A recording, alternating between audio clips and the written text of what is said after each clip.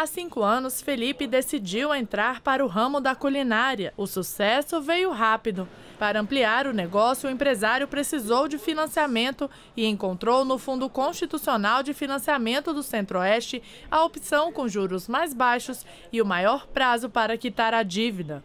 No ano de 2014, a gente pegou o fundo, a gente pegou o investimento do, do UFCO para fazer tanto mais uma loja, que foi a primeira loja de shopping nossa, quanto foi para fazer a expansão da fábrica do negócio, onde a gente adquiriu caminhão, adquiriu equipamentos, adquiriu peças que, que deram condições de a gente aumentar e alavancar o negócio da forma que está crescendo hoje. Hoje a gente já tem 21 lojas aí no Centro-Oeste, tá? 18 operando, 3 em, abertura, em, em construção. Com o fundo de financiamento do Centro-Oeste, empreendedores como o Felipe têm a chance de investir no próprio negócio.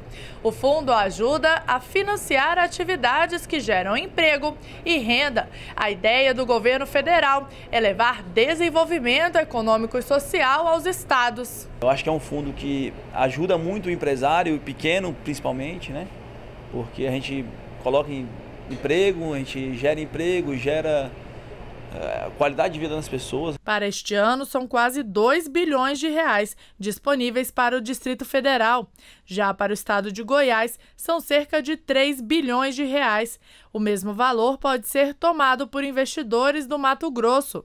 Para o Mato Grosso do Sul, foram reservados mais de 2 bilhões e 300 milhões de reais. Os financiamentos atendem pequenos produtores rurais, associações, cooperativas de produção e investidores do pequeno ao grande. Para acessar os recursos do FCO, o interessado deve ir a uma agência do Banco do Brasil.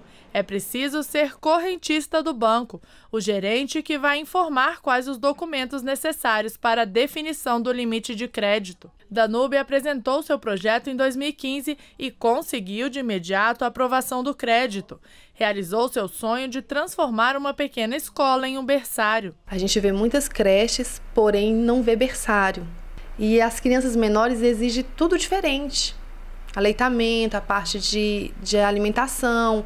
O juro é muito bom, é muito pequeno, né? Eles te dão um tempo de carência. Até dois anos para você poder pagar o, o preço né, começar a pagar mesmo a quitação das parcelas. Hoje, Danúbia emprega 17 pessoas, atende a cerca de 100 crianças e pretende crescer ainda mais. A gente tem mais, mais projetos aí para ser é, desenrolados, né, que a gente consiga conquistar. E se tudo der certo, o nosso próximo passo será, sim, buscar novamente outros recursos dentro do, do banco, né?